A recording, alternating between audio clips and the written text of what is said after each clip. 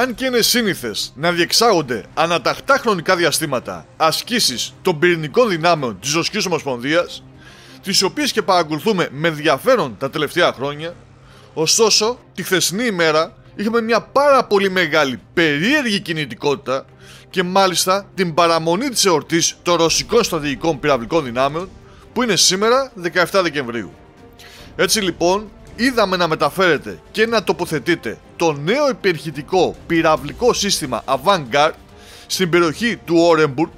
του οποίου η κατάσταση διήρκησε αρκετές ώρες και φυσικά τελικά ολοκληρώθηκε επιτυχώς εξοπλίζοντας μία ακόμα μονάδα με αυτόν τον υπερσύγχρονο διυπηρωτικό πύραυλο που έχει προκαλέσει πονοκέφαλο στη Δύση. Λίγη ώρα αργότερα, το Ρωσικό Υπουργείο Άμυνας ενημέρωσε ότι διεξήγαγε ακόμα μία άσκηση, αυτή τη φορά βγάζοντας έξω από τους χώρους αποθήκευσής τους και αναπτύσσοντάς τους τους διυπηρωτικού πυράβλους YARS, όπως μπορούμε να δούμε και στο βίντεο, με δεκάδες μονάδες τους να ξεκινούν για να πάνε στα προβλεπόμενα σημεία και να τεθούν σε κατάσταση μάχης. Και αν νομίζετε ότι ήταν μόνο αυτά τα δύο, γελαστήκατε.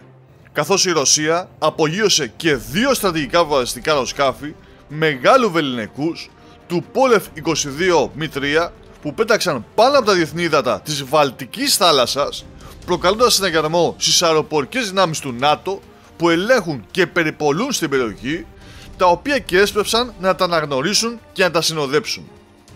Οι πτήσει τους γύρκησε 5 ολόκληρες ώρες, δηλαδή κυριολεκτικά σάρωσαν την περιοχή της Βαλτικής, η οποία όπως γνωρίζουμε αποτελείται από εχθρικές χώρες προς τη Ρωσία. Τρίτωσε λοιπόν η έντονη, περίεργη πυρηνική κινητικότητα της Ρωσίας, κάτι που δεν έχουμε ξαναδεί και που σίγουρα προκάλεσε ανησυχία αφού υπάρχει μεγάλη ρευστότητα στο παγκόσμιο γεωπολικό σύστημα με τις κρίσεις να ξεσπούν η μία μετά την άλλη.